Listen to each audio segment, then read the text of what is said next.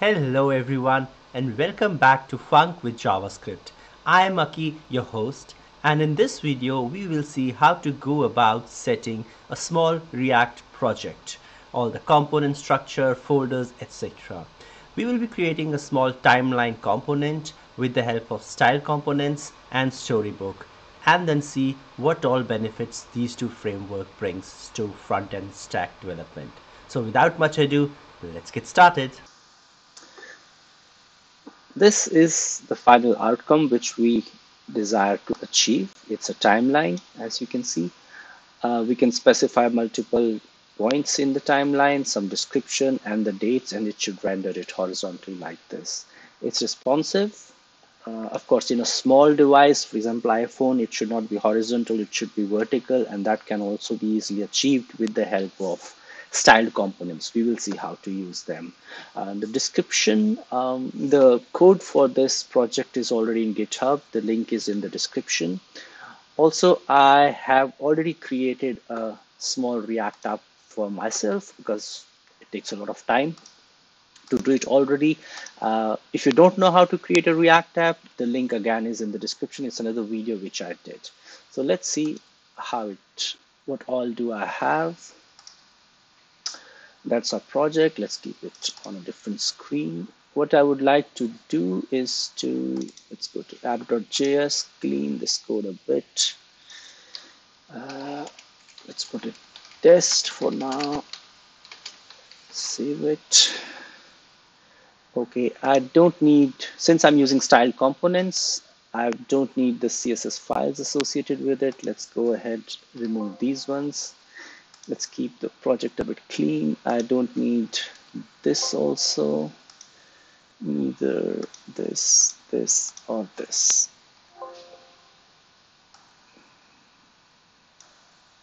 Okay okay and then I also need to clean this up in my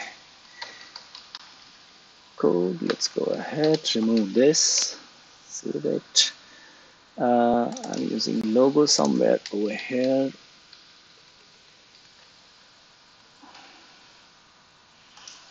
and also App.css. So now it should be fine. Oops, I'm still using index somewhere. It's over here.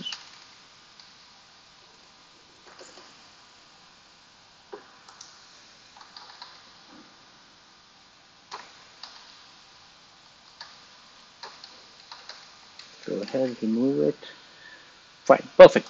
So we have our application up and running if we have a look at our project, uh, a very good tip I learned reading um, uh, when I was learning React or slash front end development is to look at your UI and think of boxes. Boxes is what we need to create. So for example, if I look at this thing, I'm immediately thinking of a big box, which is my component, which starts from the left and encapsulates everything. Then I have individual boxes, uh, a box which contains lorem ipsum, this text as well as the date section. And then within that big sec date, within that section, I have individual boxes, one box for lorem ipsum text, another box for 24 December text, you see. So I have, I'm dividing the whole UI into small boxes. And of course, one box is my line component over here. So the way we would approach any project in front end development is to start from the smallest box and then keep on building them. So for example, for this project, what it means, I would first create the smallest and easiest box, which is my line component. Then I would create the date, then probably the lorem ipsum dolor, you know, the description text, then add all of them into a bigger component, single component, which encapsulates the text as well as date let's call it box, and then add it to the line component. So it's, it's a conglomeration of all these components which will render our project. Right, I hope this point is a bit clear. If no, uh, let me know and I would like to uh, go a bit more in detail into it. But this is something which really helped me to understand how to go about creating projects. So the first command I'm going to run is to install our site styled components. So let's go ahead. It should be npm i styled components. Did I type it correct? Yes.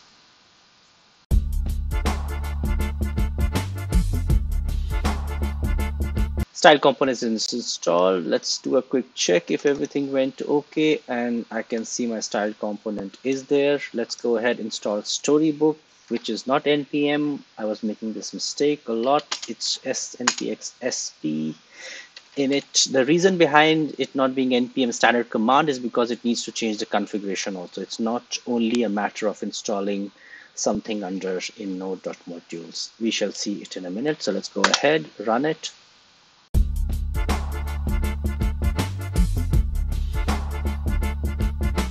So Storybook is also installed. Let's quickly check what changes it did to our solution. The first thing is it installed a new folder with some files. This is basically a configurational file for Storybook. Let's quickly check out if everything is okay over there. Uh, stories, yes, don't worry, we don't have to really know about each and each one of them, what they do. Um, of course, it's always good uh, but still we can skip it for the time being and for the preview also everything looks good okay. Uh, so that's one thing. The other thing is do, it does is to change to add some commands which is storybook as you can see. So what we can do now is rather than saying npm start to test our component we can do npm run storybook. But before we do that let's go ahead write some code. Uh, let's go ahead create a new folder which is components. And within these we will be creating all the all the dates the lines and the text box which we just saw so the first one and the most easiest one i'm going to do is to do the line. Let's say line.jsx uh, what did i do? It should be a dot i think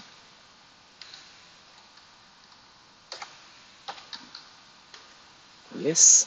Uh, now I can say RFC and I get the code. If you do not uh, get this piece of code by typing RFC that is because you don't have an extension which is E79 or something like that. Let me check. If not please go ahead and install uh, install this extension. It will save you so much work. It's this one ES79 redux graph let's go ahead and for the timing I would just say line component save it. Uh, how to test it out right? The easiest way you could think of is to say okay let's go ahead to app.js load it from here and render it in my return function right? One way to do it but if you have multiple components and also one component and you would like to test it with different inputs, then it becomes a bit different. And that's where Storybook actually shines. It gives you an ability to test your component without even loading them in your app.js or any other JavaScript file, right? So to do that, to use that, what I need to do is to follow a convention of Storybook, which is to say component.stories.jsx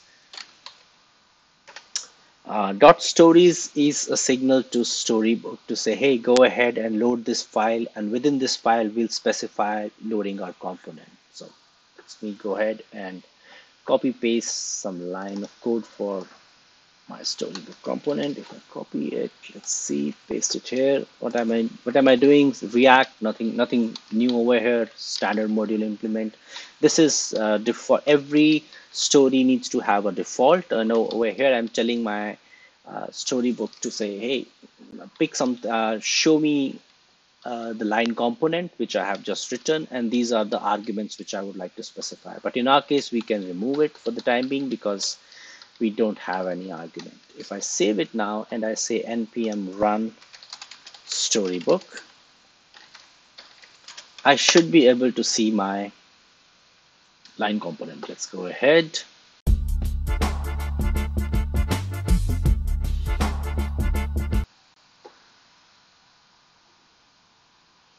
Now, as you can see, Uh, the page loads. If I go to line first story, and that's coming from our line component, right?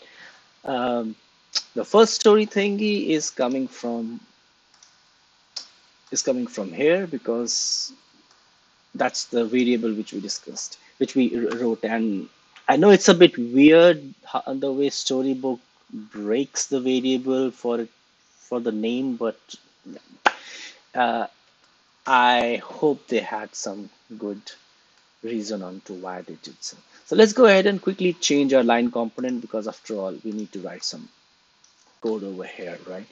Uh, what I'm going to do is to import styled from, this is another uh, library which we had installed, which was styled components. Um, let's see the magic for this from I would like to import it from styled components slash macro. Now what I can do, I can define a constant here with all the CSS properties which I would like to have for this line component. So in our case, let me go ahead and simply copy paste it because what's the point of writing the CSS? Let's forget about this for the time being. Line CSS, voila, voila, voila. And now I can say render my line CSS variable like this. And if I save it now,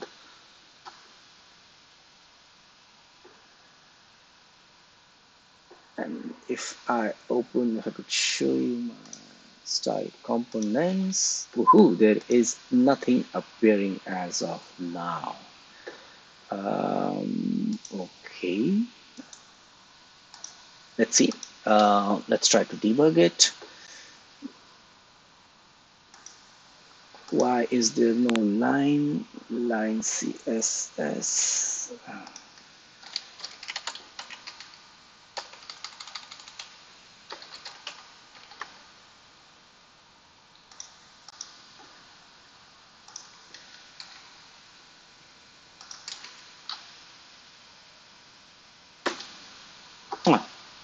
my mistake. Uh, it, it is because the line is, I think, white. Gay. What a stupid. So let's let's put something over there. Uh, let's put it background should be. Uh, let's give it a color. It should be this. Voila. If I save it now, if I save it now and I change the color, you can see the line is appearing over there. Cool. Now, uh, what else I could do? Uh, what I would like to do, another thing is to not hard code my color over here. Uh, for that, what I can do, I would like to take this value from line itself. Uh, so let's color it. Uh, color is, and then put in a default value of this one, right? So that input component can call my my component of line with different values for the color and I would render it differently. Uh, look at the magic which is going to happen. Now I can say color is my variable color and over here I can programmatically change my CSS property that's the syntax so you put in a I can never figure out where uh, oops where my yeah so it's like this. It takes it an input value. Uh, it's a function. Yes I put in color variable and then I say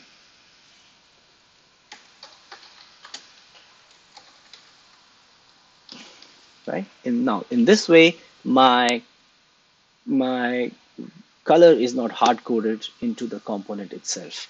Uh, as you can see, nothing much will change because I have put in the default value over here. But what I can do in style component in storybook, sorry, is to give an ability to end user to, to me as a developer or to some other tester to, to change the component's color without loading the loading it in some kind of a page. Hmm? To do that, what I can do is to say